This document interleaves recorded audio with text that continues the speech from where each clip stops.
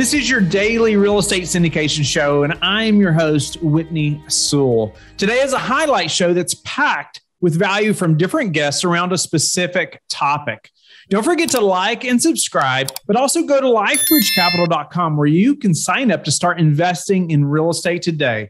I hope you enjoy the show.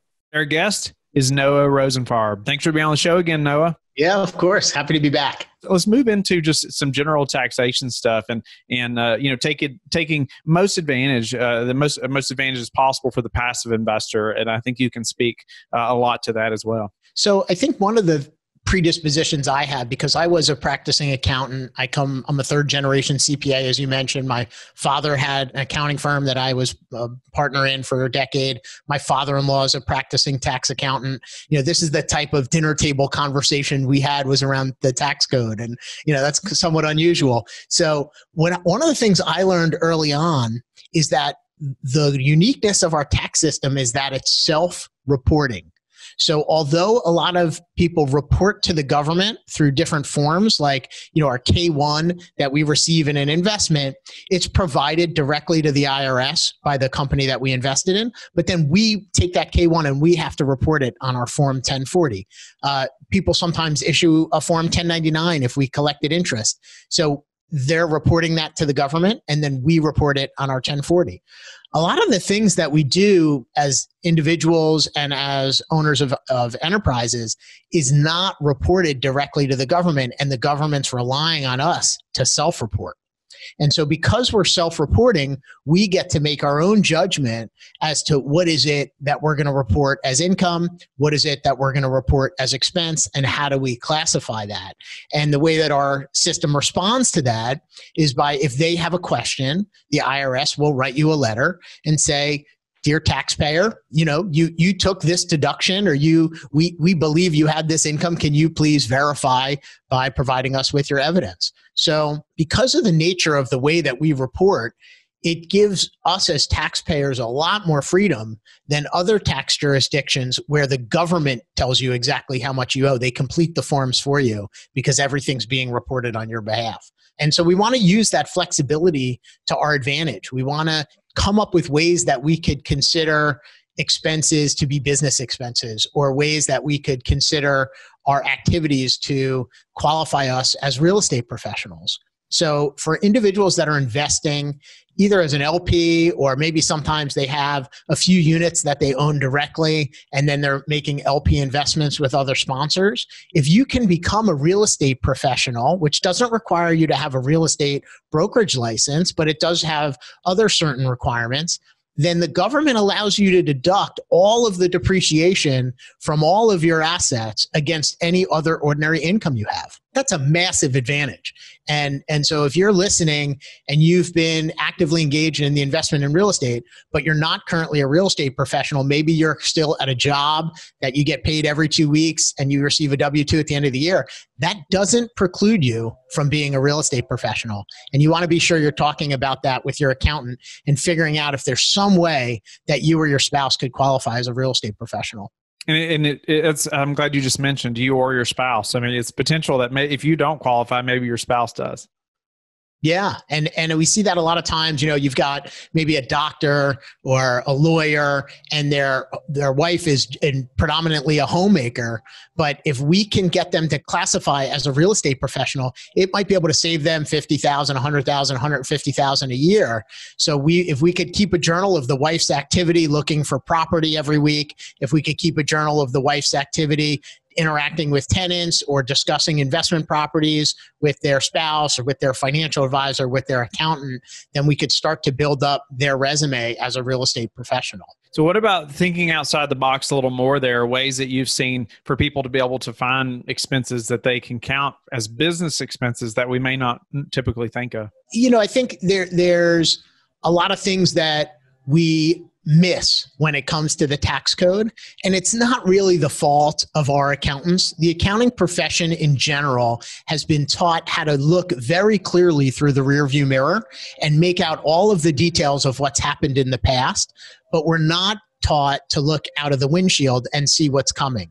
So, as a profession, we're not incentivized to help taxpayers think about how do we avoid future taxes. We're only paid for return preparation in almost all cases. And I, and I just had someone that approached me about doing some tax planning, and I told them to go back to their CPA firm to do a tax projection. And they were so miserably upset because the accountant just took their five months worth of numbers, multiplied it by 12 fifths, and said, here's your year. And, you know, it was like there was no thoughtfulness, there was no advice, there was no counsel. And I think that's happens all too often in this industry.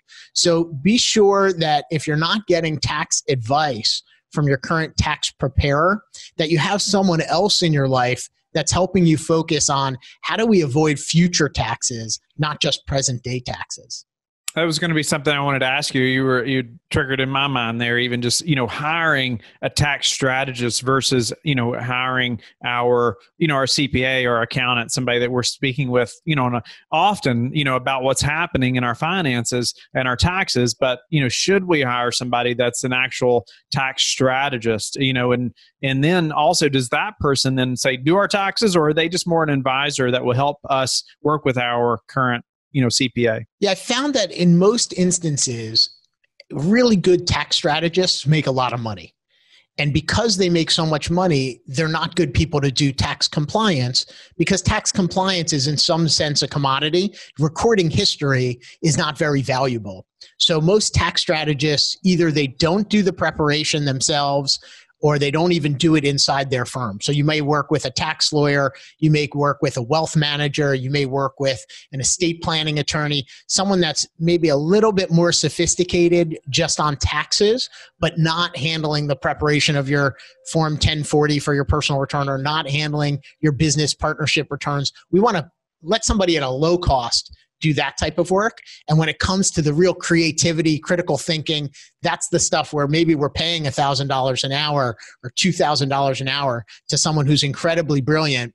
And we're not paying them for the hour that we're spending with us. We're paying them for the 20 years that they've spent learning exactly what to do with that hour. Very well said. That's with a lot of professions, right? When you're hiring somebody that's a professional advisor, it's well worth it. It seems like a lot per hour, but it's well worth it because of their experience.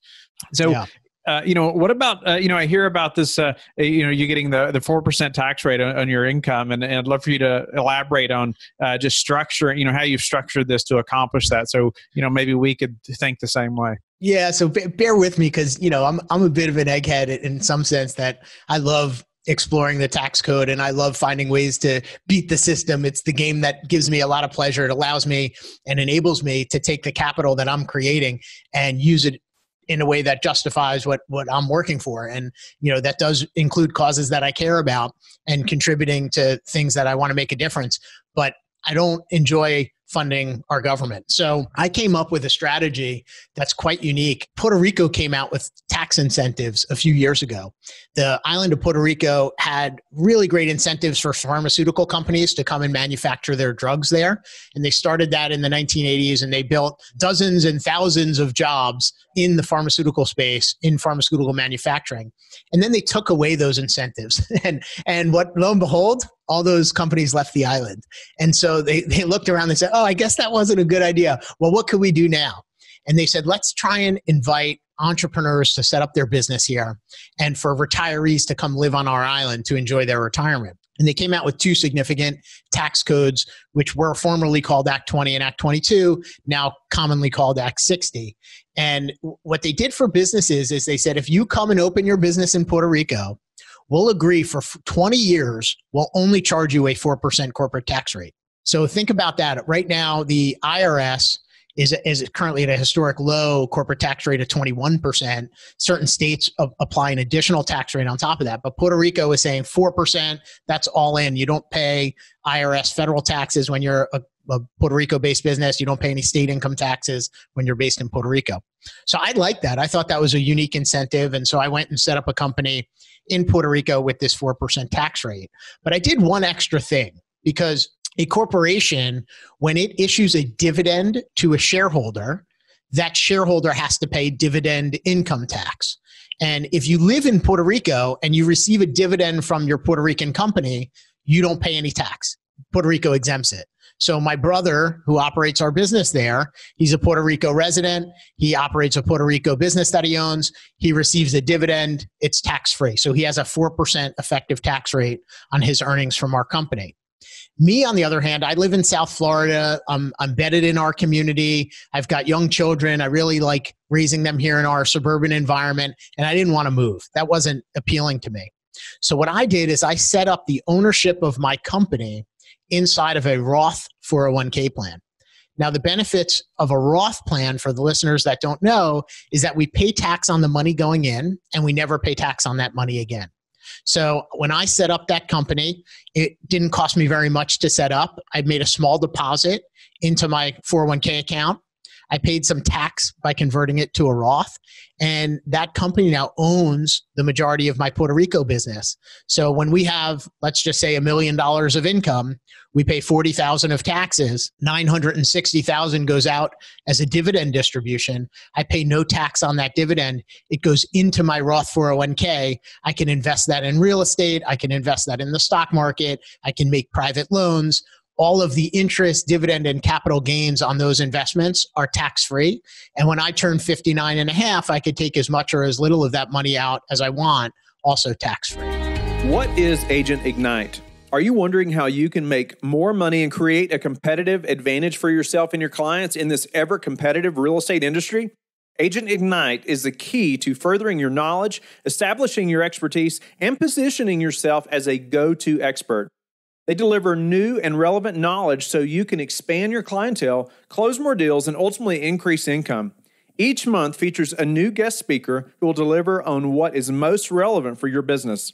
As a member of DMAR's Market Trends Committee, an avid champion for building wealth through real estate, and a self proclaimed data geek, Nicole will share market trends and commentary that will add value to you and your clients.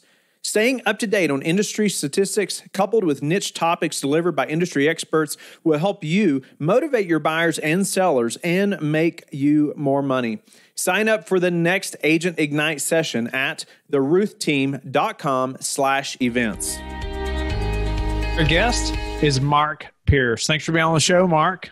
Well, you're welcome, Whitney. I'm glad to be here.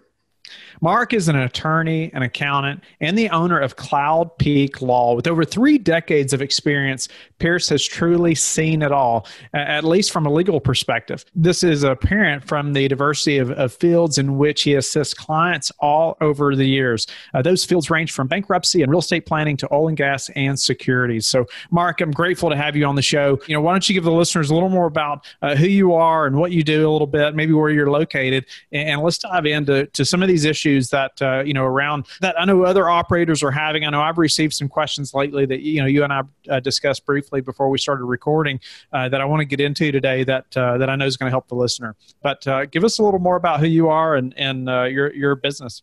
Be glad to. Uh, Cloud Peak Law is located in Sheridan, Wyoming. Wyoming is an isolated state, to say the least, the least populated state in the United States. We have, uh, in terms of social distancing, 4.8 people per square mile. So I'm not sure what they mean by the social distancing for us anyway. It is the premier LLC jurisdiction in the United States, the first state to recognize and to uh, uh, flush out what an, a limited liability company is. It also has become one of the premier trust jurisdictions in the United States as well. And that's by design. Uh, the large financial industries within the state have pushed that to a conclusion. So I came back to Wyoming in uh, 2012, eight years ago, for the purpose of providing commoditized legal services to people in a very specific area, those being LLCs and trusts.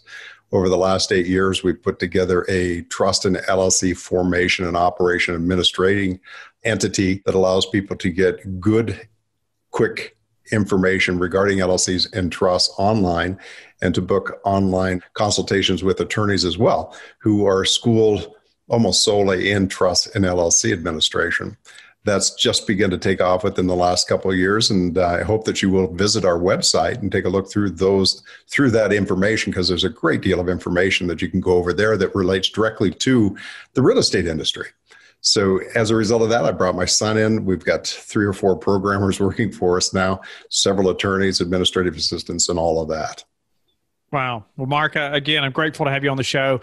And, you know, uh, just so the listeners know, you know, I've had numerous questions recently about, you know, how do we structure once, once somebody gets into this business, which is, is not an easy feat, uh, but you get going, you get your business operating, uh, but then you start, you know, you have other growing pains, right? And, and one of those is then you have to, people start thinking about, well, you know, how do I structure these things on the personal side? You know, as an operator, well, then we start, you know, owning parts of different deals Maybe we're investing passively as well. You know, we're thinking about you know our family and our kids and and all these things start happening right? Uh, you know that maybe didn't happen before. I know it happened to me and i started to do a lot of research and consult with people like yourself.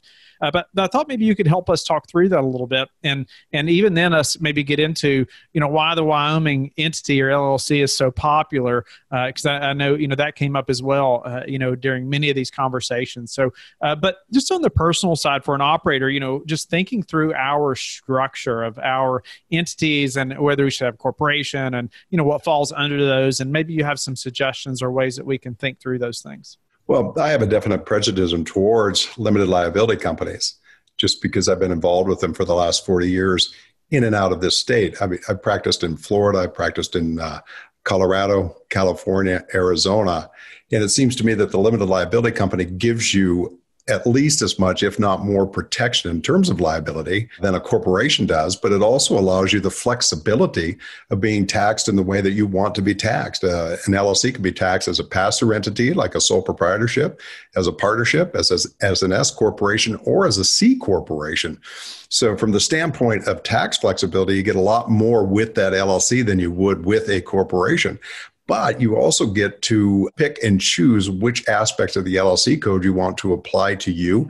And then you can modify a great number of those applications. And for instance, Wyoming has what they call a closed limited liability supplement so that you don't have to go through the regular corporate formalities and, and, and pretend that you've had a meeting every year, for example. You also don't have to have special meetings to uh, to adopt certain matters such as liquidations or asset acquisitions or dispositions. So it gives you a lot more flexibility in the standpoint of running a small business, which most of us have. So when you get into real estate syndication, by way of example, is that you know you're, you're looking at getting a property and then you get the property uh-huh. and you put you know you, you, you begin running that property and going through all of those issues and then you get a second property and then you get a third. And then it just becomes inevitable that you end up with more and more properties. The problem is you don't keep up on the corporate side with what it is that you're doing. You wake up one day and say my goodness somebody points out and said everything's at risk for everything else's liability so you begin segregating them out into operating entities well, that's fine, but each one of those operating entities should probably located in the state where that real estate is because it's not going to make any difference if you have a Wyoming company in Missouri. Missouri's probably going to pro- apply Missouri law, even though they shouldn't. That's what they're going to do. So you realize I need to put each one of the operating entities into a separate LLC. What do I do with my passive interest? Because I've run into some things with that as well. So you put together a collective holding company at the top, which holds each one of those operating subsidiaries. Now, the holding company can also be an LLC because an LLC can hold other LLC interests. And then off to the side, you put a management company because then you get more deductibility on your expenses. You get a broader definition of what an expense is, so it lowers your, lowers your tax implications. Plus, if a management company is running those operating subsidiaries, you can you can uh, commingle all the funds, which you cannot do if you're operating those subsidiaries individually. So the management company takes all the money into a, a, single pot, provides all the insurances that go on, provides all the operating expenses that go on, and then makes an accounting to each one of those entities at the end of every year, including a fee for running the management company. And that ultimately is where any real estate syndication company is going to come into play. Nice. Okay, that, that's a lot to think through right there, and you laid it out very, uh, very quickly, and and it makes it seem so easy, right? Uh, makes it seem so easy. Well, so. We've, we've, drawn pictures on the website for you. I know that I'm very visual, and it helps yes. me to look at these things from the standpoint of, you know, where are your squares, where are your triangles, where are your circles, and then to see the cash flows back and forth and begin to understand what it is that I'm talking about, and that's your legal structure. Nice. I, I, look forward to looking at those uh, at those diagrams myself because I'm also very visual. I'd love to see that and be able to draw on it and think about you know where that money flows. And it took me a while to figure those things out. Now, wait a minute. You know, this entity. How is this entity related to this entity? And are they related, or can they be, or should they not be? You know, and money flowing from one to the other. You know, is that uh, you know is that like top entity is that you know that holding these other entities? Is it owning those entities? Is money going to the first entity and then distributed to the others? You know can you walk through a little bit of that? Yeah i'd be glad to. And, and i think that's one of the best questions you get because even with a closed limited liability supplement applicable to your LLC, you have to watch the money flow because that's what's always going to trip you up. So if you have a subsidiary that's generating money, you wouldn't take that excess money and just invest it in another subsidiary directly. You'd want to strip that money up to the holding company. It's called equity stripping. You maintain enough equity in that operating subsidiary to provide for its day to day operations, typically two to three months with no revenues. Anything over that, you strip up to the holding company. The holding company then makes additional investments into operating subsidiaries that need working capital, but it does it in the form of debt. That way, it becomes a preferred creditor, not an equity holder, or a combination of an equity holder for its initial investment, but a, a creditor as to any additional cash infusions going in. So it invests that pro- it invests that in with a promissory note, secures it either with real estate or personal property or both, and then it strips that money away over time in the form of distributions going back to repay to repay the loan that's been made, which is a huge differential on your accounting because now it's a repayment of a loan, not a repayment of capital. So if you start stripping money back up to that LLC and the taxes haven't been paid, then the LLC ends up paying the taxes first on income before it gets a return of its equity. Whereas if you distribute the the uh, debt repayment back up, you don't have that worry. And that's a huge impact on a small business owner over time in terms of his cash flow. So you have, you put the equity stripping in place, and then the holding company ends up with the money. Then the holding company can invest in new subsidiaries or make capital infusions into older subsidiaries or keep that money and distribute it out to the limited liability company holders, the members, which is key because that gives you a double envelope of protection. That way, each one of those LLCs at the bottom, the operating subsidiaries, are not liable for one another's debts, and the holding company isn't liable for debts. And you, as an owner behind the holding company, have a double envelope of protection as to those debts within those LLCs. Wow. And that's something that's been put into place in Standard Oil of Ohio in the 1880s. So it's not as if we've come up with a new idea. Thank you for being a loyal listener of the show. Please subscribe and share it with your friends. We want to help you become the passive investor you've always wanted to become, but also the operator you've always wanted to become. We want to be the number one resource for your real estate investing journey. But go to lifebridgecapital.com where you can start investing in real estate today.